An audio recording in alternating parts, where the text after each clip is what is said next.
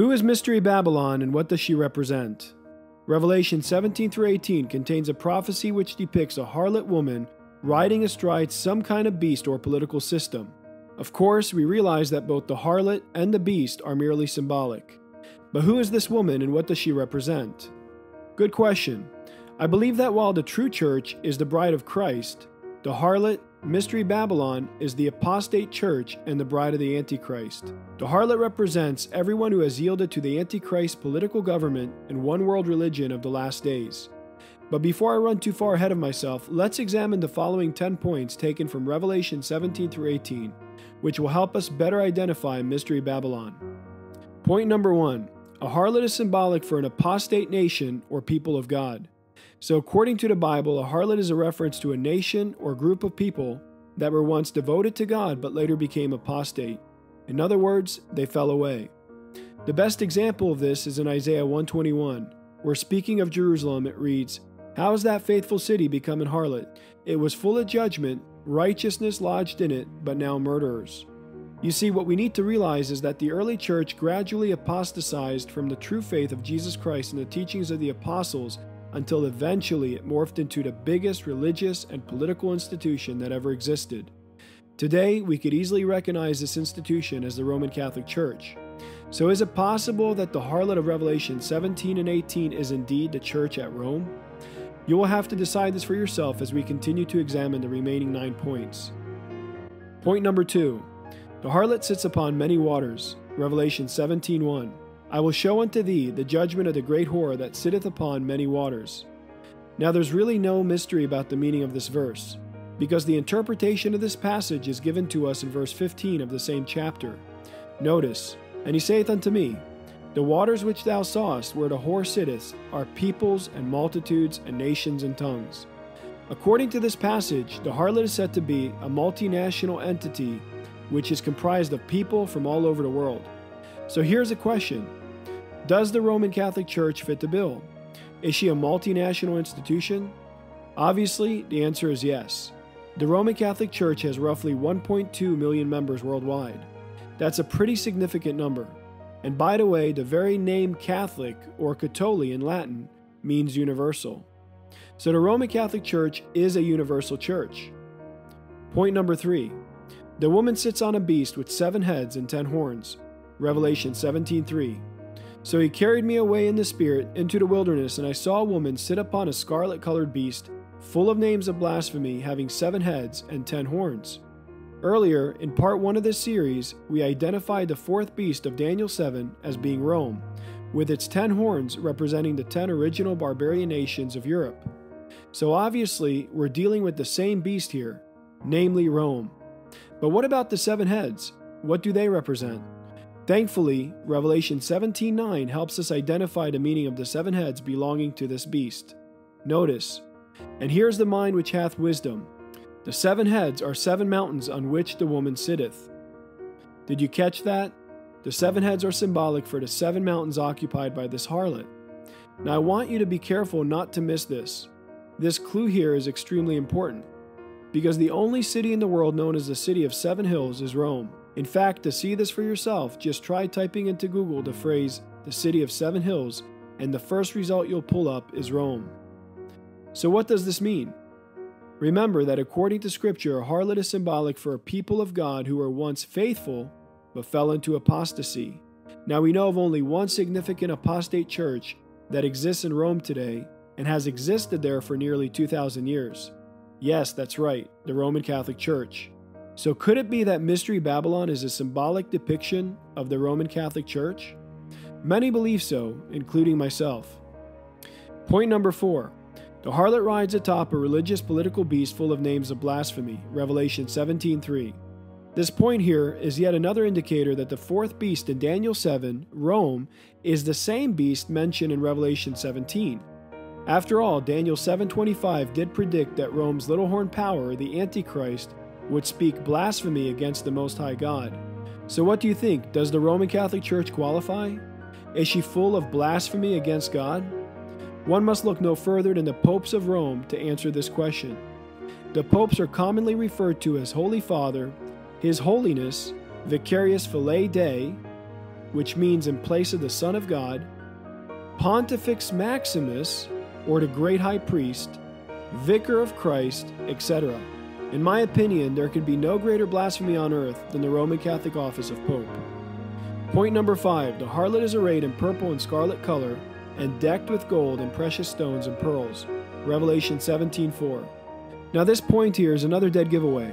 Few people realize that the two primary colors of the Roman Catholic Church are indeed purple and scarlet. Just take a close look at these pictures. As you can see, the bishops wear purple and the cardinals wear scarlet red. Now, what about the gold and precious stones? Is this something that can also be pinned on Rome? Actually, you don't have to tour the Vatican long before immediately noticing the vast amounts of gold and gems which adorn its many ornate churches and shrines. So, this too is a fitting description of the Roman Catholic Church. Point number six The harlot rules over the kings of the earth. Revelation 17:18. According to Daniel 7:23, the fourth beast, Rome, must dominate the whole earth through the rule of the Antichrist. It is a fact of history that the Roman Catholic Church has been ruling Rome through the popes since the end of imperial Rome. Only when Christ returns will Rome, along with its little horn power, the Antichrist, be given over to the burning flame. Notice, I beheld then because of the voice of the great words which the horn spake, I beheld even till the beast, that is the fourth beast, Rome, was slain and his body destroyed and given to the burning flame. Daniel 7:11. So unlike what modern historians would have us believe, Rome never lost all of its political power and will continue to rule the world until Christ returns. But just in case you doubt me, here are some short clips to help you see the reality of this in our everyday news.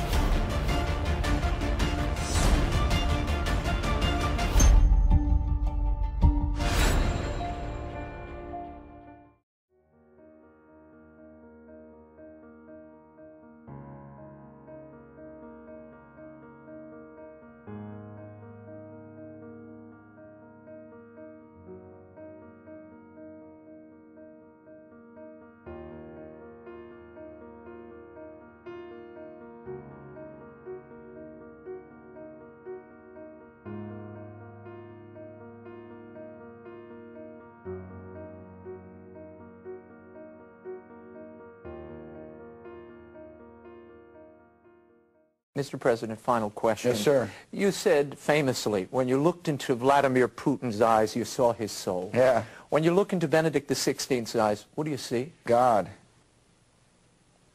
Good way to end the interview. Thank you, sir. Thank you, sir. My pleasure. Yes, sir.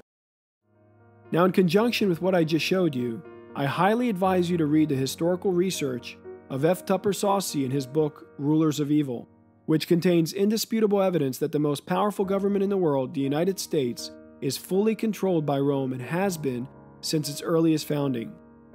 Like it or not, America is merely a puppet state of the Holy Roman Empire.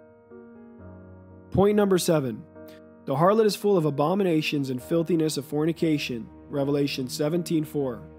According to Revelation 17:4, Mystery Babylon is the source of all kinds of sexual perversions and immorality. Now, what you need to know is that the Catholic Church is responsible for more pedophilia and child sex abuse cases than any other institution in the world.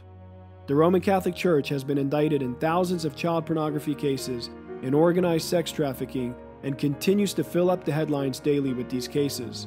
And why do you think that is? Could it be because the Catholic Church promotes the damnable doctrine of celibacy? The devil has used this very thing to perpetuate all kinds of homosexuality and pedophilia within this apostate church. Just notice this article here by Catholic publication LifeSite News, which states the following An associate professor of religious studies at John Carroll University warned as far back as 16 years ago that studies suggested the percentage of Catholic priests who were homosexual could be as high as 50%. That's roughly 16 times more the percentage of gay men in the general population. Now, everyone knows that Hollywood is a cesspool of filth and immorality. But did you know that there is substantial proof that the Roman Catholic Jesuits fully control Hollywood and the entertainment industry? For further support of this claim, please check out the book Jesuit Hollywood by Sean Wilcock. So, have nothing to do with Hollywood, because ultimately their aim is to seduce you through the entertainment medium and to numb your ability to exercise spiritual discernment while they roll out their Antichrist agenda, which they are doing even now. Point number 8 The harlot is drunk with the blood of the saints. Revelation 18:24. And in her was found the blood of prophets and of saints and of all that were slain upon the earth. Let me read to you the following quotes so you can appreciate the magnitude of Rome's enormous slaughter of true believers. Notice, from the birth of popery in 606 to the present time, it is estimated by careful and credible historians that more than 50 million of the human family have been slaughtered for the crime of heresy by popish persecutors, an average of more than 40,000 religious murders for every year of the existence of popery. History of Romanism by John Dowling, pages 541 and 542, New York, 1871. And here's another quote by William Lecky that the Church of Rome has shed more innocent blood than any other institution that has ever existed among mankind will be questioned by no Protestant who has a competent knowledge of history. It is impossible to form a complete conception of the multitude of her victims, and it is quite certain that no powers of imagination can adequately realize their sufferings. W. E. H. Lecky, History of the Rise and Influence of the Spirit of Rationalism in Europe, Volume 2, page 32, 1910 edition. So don't be fooled, friends. Rome has persecuted Christians at the beginning of the Church Age, throughout the Middle Ages, through the implements of fascism and socialism, and she will do so again at the end of time if you truly believe Bible prophecy. Point number 9 The mother of harlots and abominations of the earth. Revelation 17:5. In 251 AD, Cyprian of Carthage wrote, "He can no longer have God for his father, who has not the church for his mother." Since the days of Cyprian, the Roman Catholic Church has officially been known as the Mother Church. And what you must know is that within this Mother Church, Mary has been elevated to a higher status than Jesus Christ. But let's be clear the Catholic Church doesn't really venerate Mary. In all actuality, they worship Isis, the Theotokos of ancient Egypt. How do I know? Very simple. All Catholics refer to Mary as the Queen of Heaven. In fact, that's her official title. But remember, Isis was also known to the Egyptians as the Queen of Heaven. That's why in Revelation 18:7, Babylon says of herself, "I sit as a queen." Mariology or Mary worship is simply a repackaged form of Isis worship. Point number 10. The kings and merchants of the earth are waxed rich with the abundance of her delicacies. Revelation 18:3. For all nations have drunk of the wine of the wrath of her fornication, and the kings of the earth have committed fornication with her. And the merchants of the earth are waxed rich through the abundance of her delicacies. So, what this verse means is that all of the world's political leaders, along with the top businessmen, have become wealthy on account of their involvement with the Roman Catholic Church. In other words, they are directly benefiting from the agenda of the Vatican. But let me show you the following article to help bolster this claim.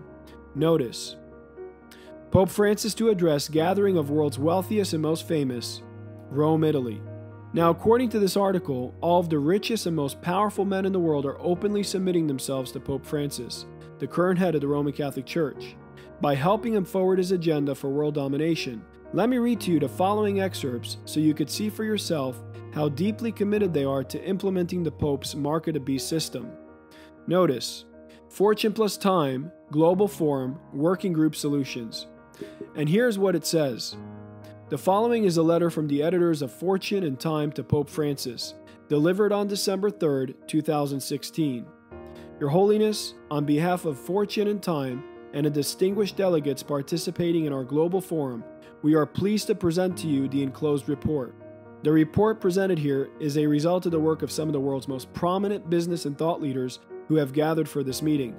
Our goal is not only to talk about these problems, but also to take specific actions to address them. The chief executive officers who have gathered with us come from companies that collectively employ more than 4.7 million people. These companies operate in every country on earth with networks that range from the inner cities to the smallest villages. And so at this forum, Top executives from some of the world's largest companies, as well as prominent non governmental labor and civic leaders, have sought to answer the Holy Father's call to action, forging a new social compact for the 21st century. And now listen to this. Here's what they plan to do about it. Companies will support initiatives to produce digital identities for the one fifth of global citizens who lack one, and therefore are shut out of financial systems. Digital financial technology, fintech, and the spread of mobile phones have been transformative in expanding financial access to hard to reach populations. Still, there remain obstacles to achieving the World Bank's goal of universal financial access, UFA, by 2020. So there you have it. The world's top political leaders and businessmen stand to benefit immensely as they begin to implement the Vatican's global agenda. These companies will be responsible for setting up the market beast financial system, wherein, according to Revelation 13, no man may buy or sell without the mark of the beast. Truly, all of the world's top politicians and businessmen are in bed with the Vatican. So, whether you believe it or not, the Roman Catholic Church controls the global economy and the buying and selling of all things. But what you must know is that Rome uses the military might and economic power of the United States, her most powerful puppet state, and therefore we must expect the U.S. to play a major role in the completion of this global agenda in the coming days. Now, finally, there's good news to all of this, because according to Revelation 18, this whore, the Roman Catholic Church, will be destroyed by fire just before Christ returns and the saints of God with him. Very shortly, we, God's people, will be vindicated when his wrath is poured out unmixed upon the unfaithful harlot church and all of her allies. But all of those who have refused to unite with Mystery Babylon will remain to witness it. And I heard another voice from heaven saying, Come out of her, my people, that ye be not partakers of her sins, and that ye receive not of her plagues. For her sins have reached unto heaven, and God hath remembered her iniquities. Reward her even as she rewarded you, and double unto her double according to her works. In the cup which she hath filled, fill to her double. How much she hath glorified herself, and lived deliciously, so much torment and sorrow give to her. For she saith in her heart, I sit as a queen, and am no widow, and shall see no sorrow. Therefore shall her plagues come in one day, death and mourning and famine, and she shall be utterly burned with fire, for strong is the Lord God who judgeth her. Amen.